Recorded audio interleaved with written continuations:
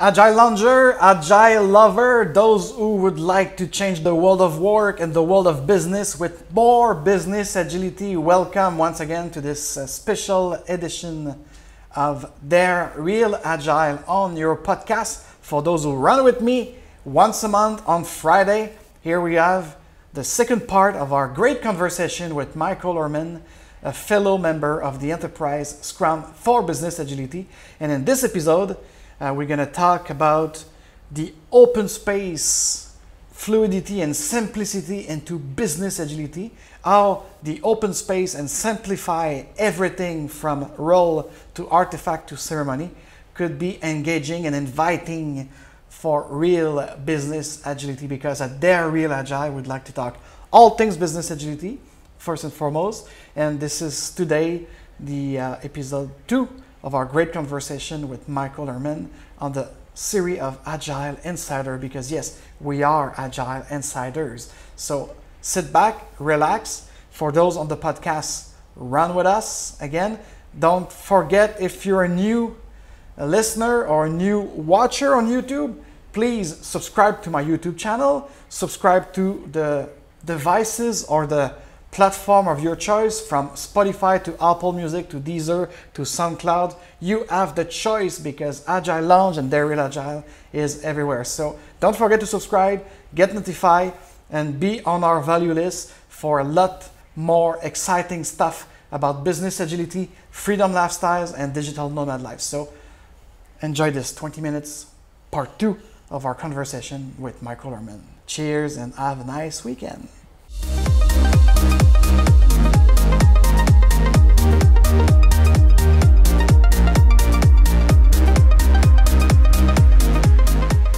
But uh, yeah, so I've been introduced to it, and other people always think like I'm an IT guy. I'm not an IT guy. I'm uh, I'm just like an organizer, a well public relation guy, and uh, and I like to facilitate and help people. I'm a coach also. I was coach in sports and, and bicycle team.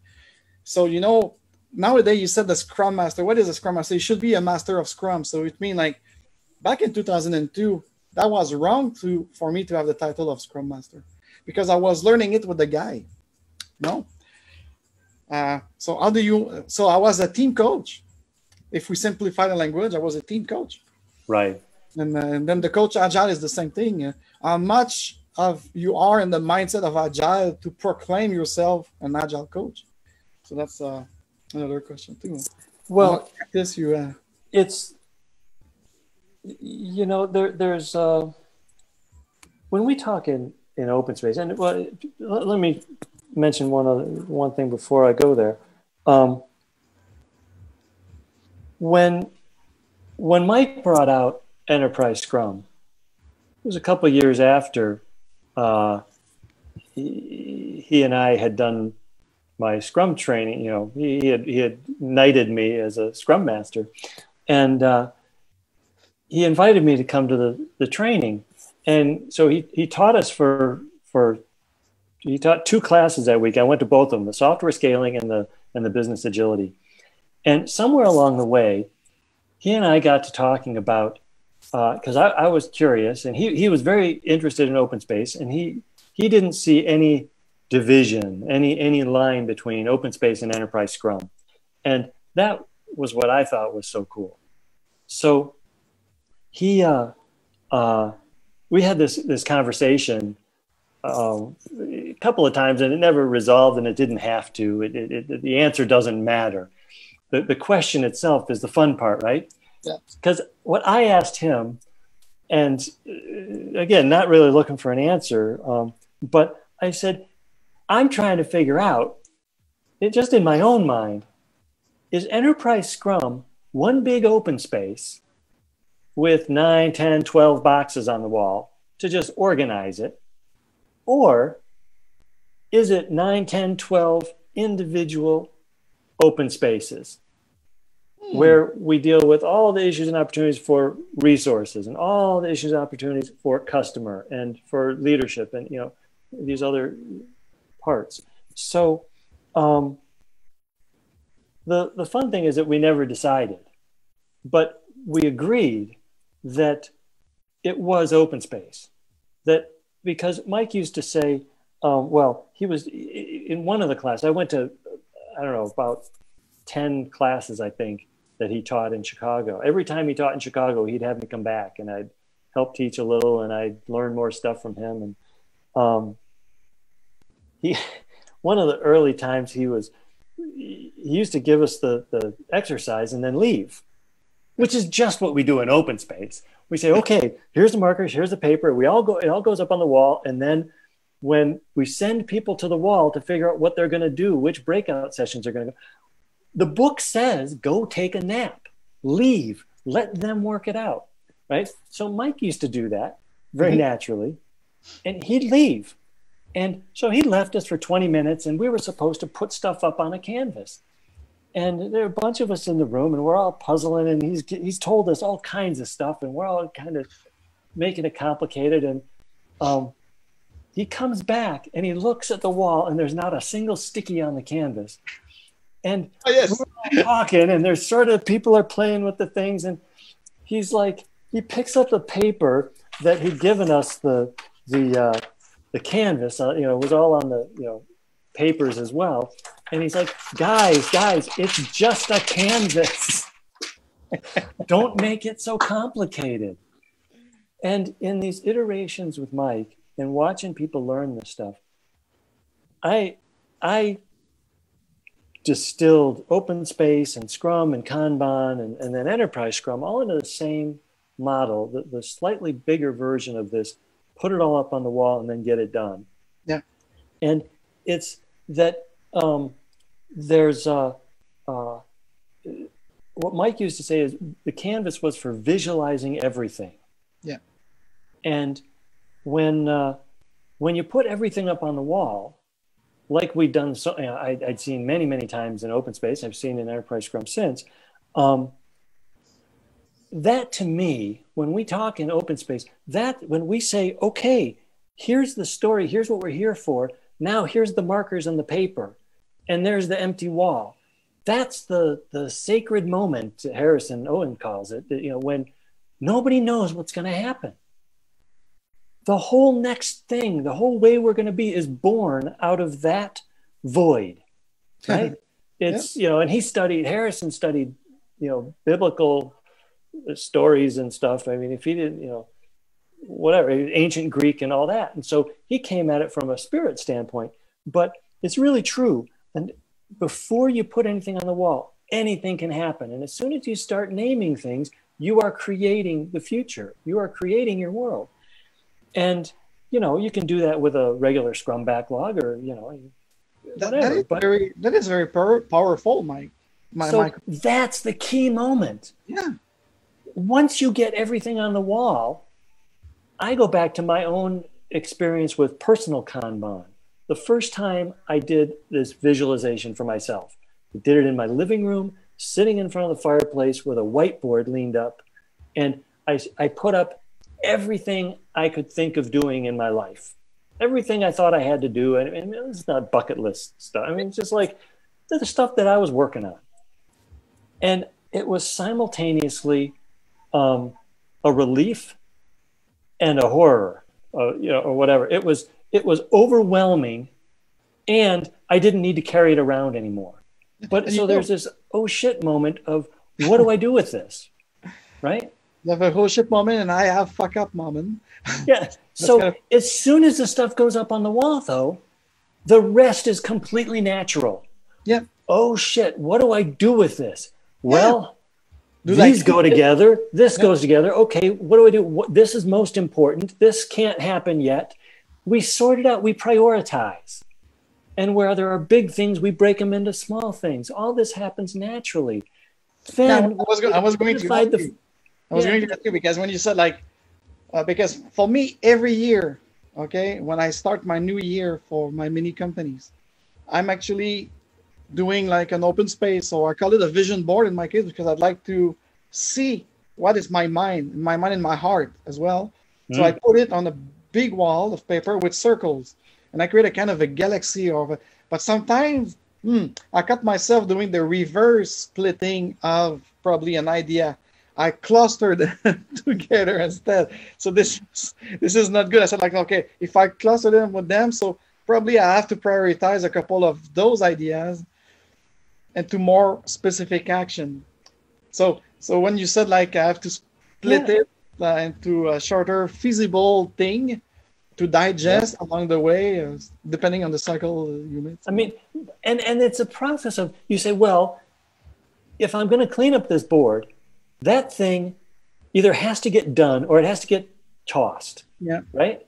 And if I'm not going to toss it and I can't do it as it is, then I have to break it down. So we can write books about refinement, but it's a natural thing, right? Yes. And then if I find the things that are most important and I move them over to one side, I don't care which, or the top or whatever, now I know what I have to do tomorrow and I can ignore the rest. So and this, so this happens. So then I commit to those things, then I can actually get them done. And then the last piece of this story is that when when we were kids and we played football in the front yard of the, the neighbor kid's yard because it was perfect rectangle. After every play, we went back and the huddle was, How come you didn't hit me? Well, I didn't see you. Yeah, but I was doing this. And that's a retrospective, right? Kids do like everybody does, you know, the the the the tower of blocks falls down and the kids first they cry and then they're like, why? What happened? Well, let's try it again. And they, they, they're trying it different and trying to do it better. And so retrospective, the, the, the prioritization and the, the all that uh, you know refining and and committing and delivering and re- what Mike called I, I love when he went away from retrospective and called it review and improve because it gave it purpose. It gave it forward focus. Um, when uh, those things are all natural phenomena as long as you can get over the hump of putting everything you know on the wall and by you know corollary or whatever uh, everything you don't know.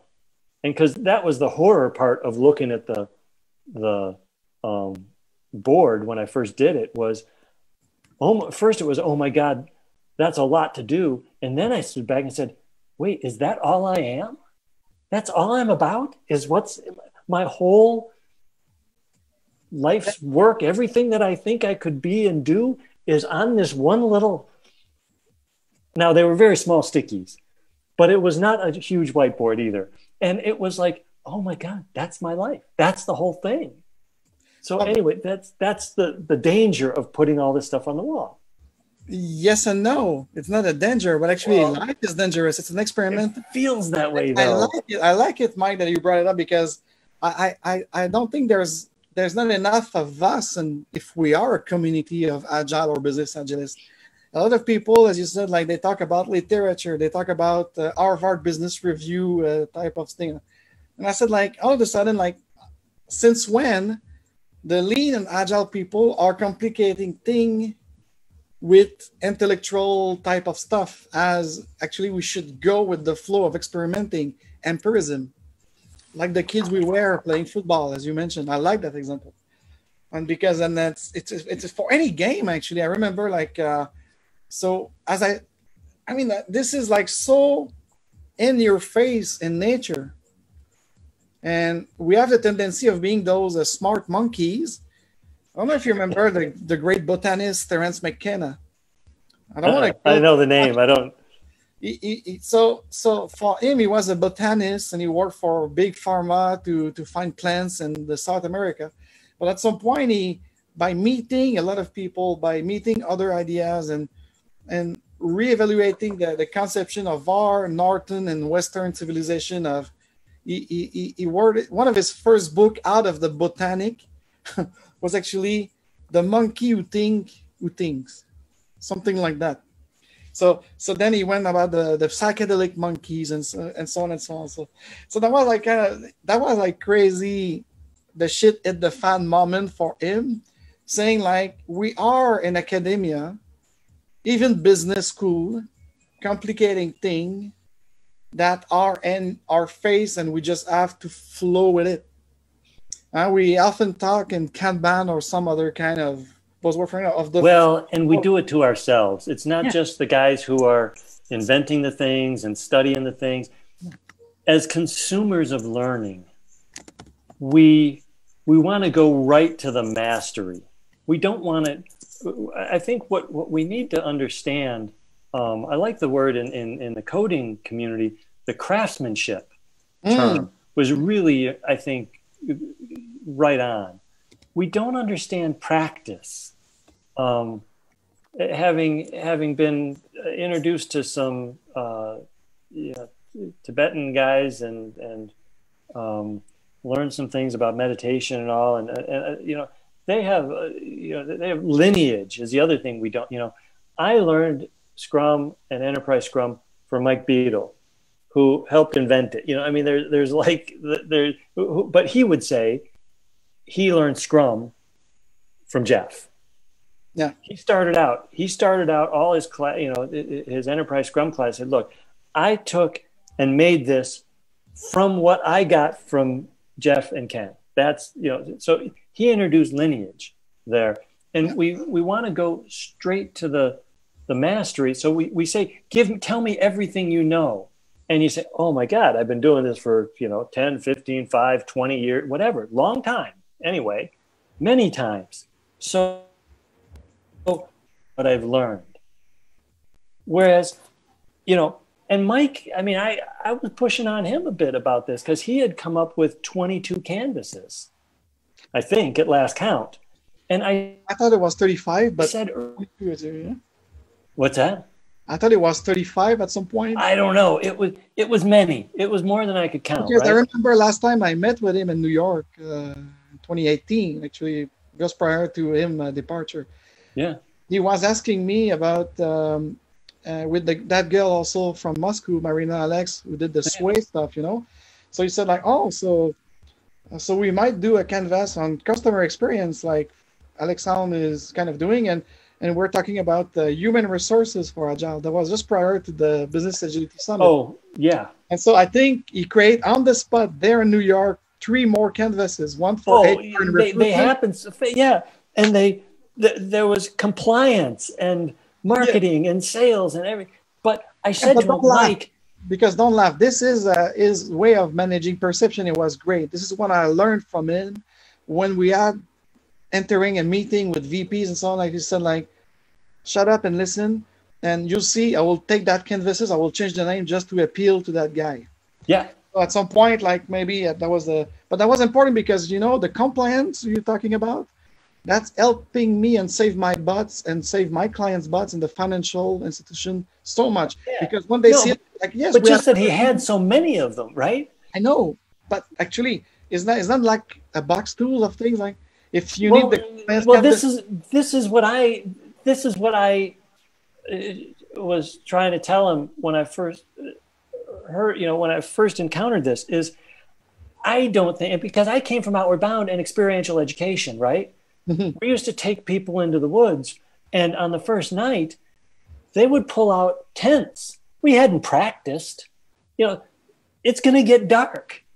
They need a place to sleep yeah. They're going to figure it out. If they don't figure out tonight, they're going to be there tomorrow faster so they have more daylight to figure out how the heck these things go together, right? But they need to learn for themselves. We'll learn to to do fire first and then yeah.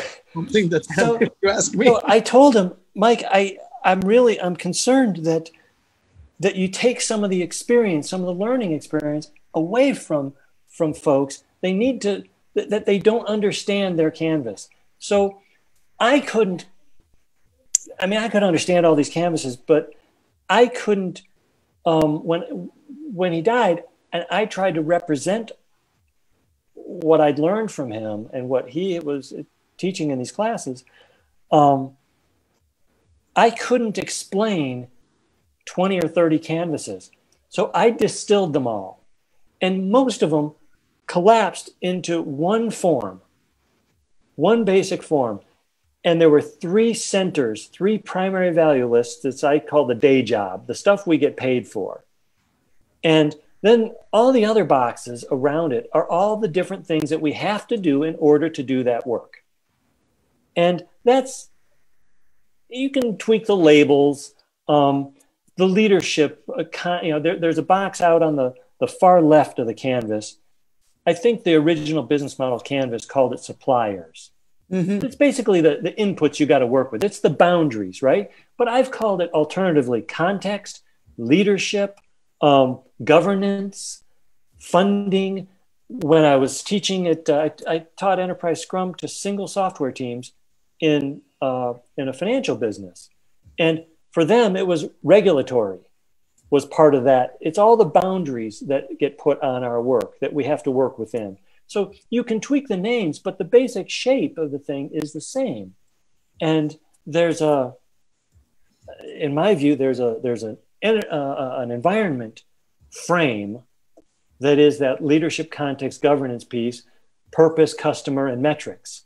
That's all what it looks like on the outside. Yeah. Then there's a frame that's the inside, the system. It's our resources that we can tap, it's team practices, it's the roles, the the scrum board itself that we need to maintain, stakeholders, channels. That's all the stuff that we need inside our system to do the work. And that distinction between environment and system is something I learned from Emery and Trist, the guys who did the self organizing stuff and described those environments, turbulent and all that. That's their language coming in socio-technical systems in the 1950s or something that old, really? Yeah, I mean that, that was. And the interesting thing is the the socio-technical systems and the Emery and Trist work when they went into the coal mines. Incidentally, they went in because they had brought all this automation into the mines and they had destroyed the teams that had gone in together and kept each other alive. Now every man went in individually and they were trying to overcome and rebuild the the teams that kept people sane and safe in the mines. So um, it was very much a, a people first. You know, let's let's look out for these guys who are going and dig, digging the coal. Um, so anyway, I simplified Mike's canvases to one that mm-hmm. has three different ways to to plug in, and one of them is the, the, the portfolio version of his canvases, and the other is the uh, scaling with the columns. And uh, then there's sort of a blank and you can make up your own. But those are my three. And then just the other day, uh, a few weeks ago, somebody, a group I was working with, they said, "Oh no, the canvas is too complicated, and I'm, people are going to be confused." And I said, "Oh, you know, people are really thinking it's not that confusing, right?" It's not. So I simplified it to this. And I don't know if we. So this I is only two, those on YouTube and Facebook because this is two boxes. Yeah, I simplified, you know, about a dozen, uh, you know, business model canvas inspired panels to these two. Yeah. Okay. Everything we need to do and all the reason we can't. Why we can't. Because so, everything is possible, right? No. Well, well, yeah. No? yeah. Yes, we know that, but they don't know it yet. Okay. So we say, look, tell me all the stuff you got to do. And then, well, why don't you just go do it? Well, because this depends on that, and we're waiting for no, this. And that's the thing. So that's all the obstacles. Yeah, but right? that exactly. So you actually list up front.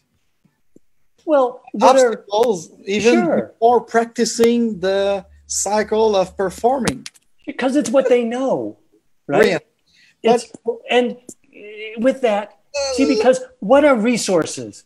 What um, resources in the canvas are those things, people and tools and things that we don't have in the team that we have access to. We can call in this specialist, or we yeah. can, you know, use these things.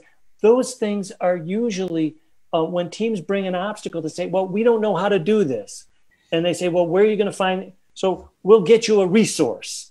Okay. Well, so a lot of those systems, a lot, a lot of the stuff that's wrapped around the PVL is the stuff that we got to do to overcome the, the obstacles anyway. So they're already talking in that language.